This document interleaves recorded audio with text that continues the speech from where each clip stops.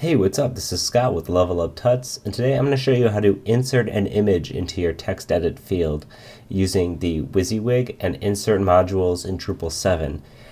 Continuing from last time when we enabled a WYSIWYG into our system, I actually had a comment on the video asking on how to insert an image. Uh, well, this actually isn't possible without another module called insert, so I figured I would show you how to do that really quick before we got into uh, views, which is what's going to be our next little mini series because views is going to take quite a few tutorials to go over in full. So before we get into that, let's uh, download the module insert insert, search drupal.org for it. All right, let's grab the latest one.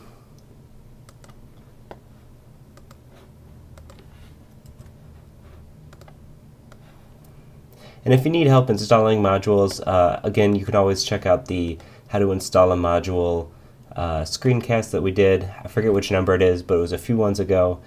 So we'll go to modules and turn on insert. And of course, if there's any dependencies or anything that we need to have turned on as well as for insert to work, it's going to tell us, but it doesn't look like it, so click Save.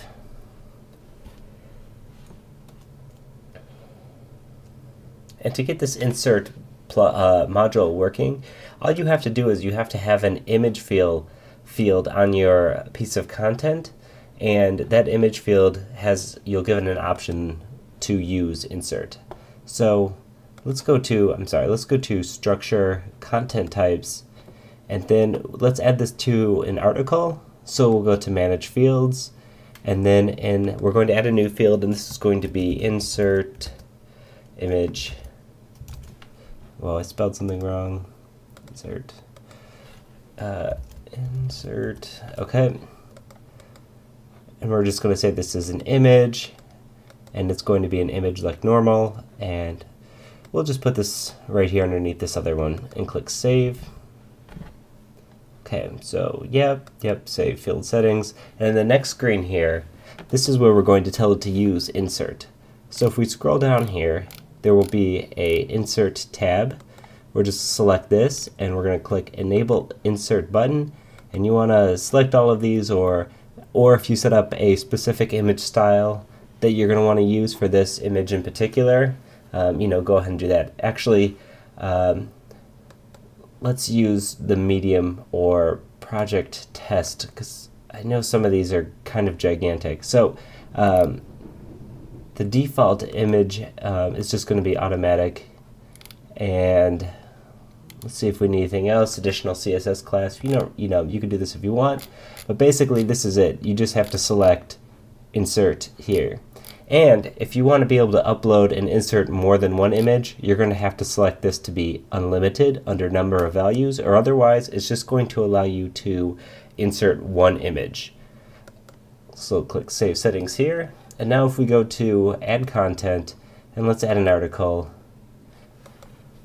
So test, test, okay. So if you see, here's our insert image. Let's choose a file. Um, see if I have anything my downloads. I have the same picture that we used before. Let's grab that.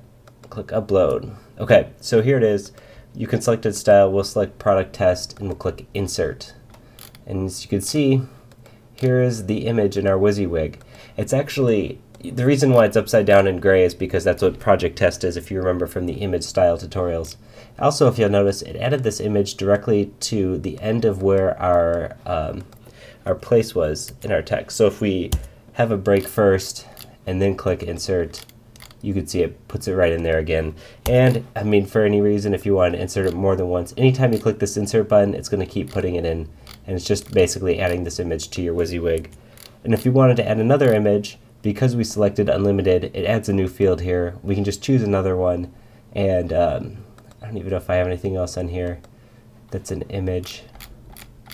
A lot of videos. Um, but yeah, if we had another image, actually, here, I'll just take a screenshot of this page really quick. Okay, screenshot. We can upload this. We'll also select project test and click insert.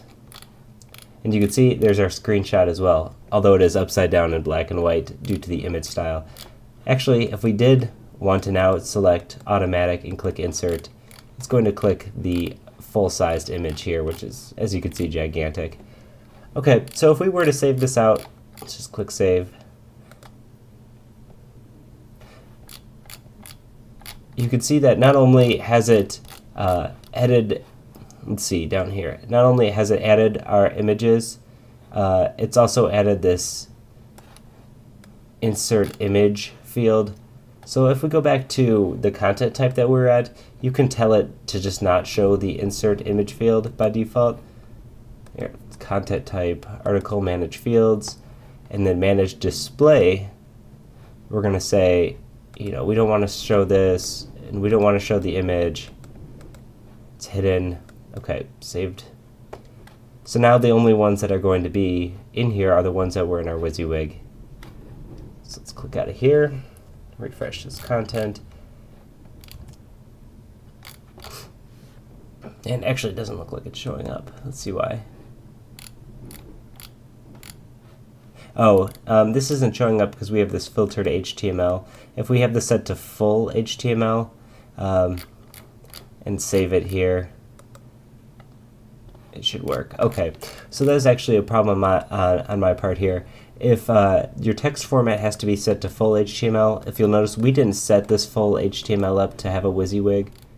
So as you can see, you could still use this insert here to add it if it's just set to full HTML, but let's just set this up um, so that it's exactly perfect. If we go back to configuration and then we go to um, WYSIWYG profiles, uh, we want to set this full HTML.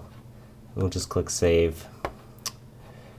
And let's set it up just really quick, buttons, whatever.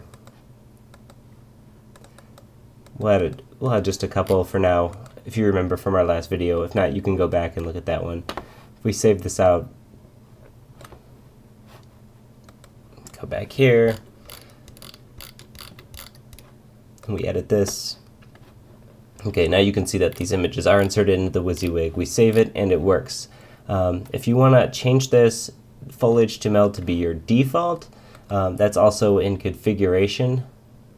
And then text formats, and then see here you can drag which ones you want to be the initial one. So if we drag full HTML to the top, we won't have to worry about that from here on out. So if we come back to our page here, and let's create a new piece of content, we'll make it an article. Same as before, just garbage text right now.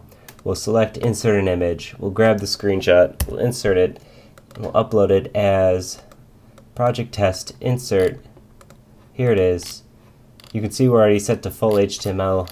We can save this, and here it is. Okay, so that's all working. That's how you insert an image into your text edit screen into your WYSIWYG in Drupal 7. If you have any questions, feel free to let me know. Once again, this is Scott with Level Up Tuts, and thanks for watching.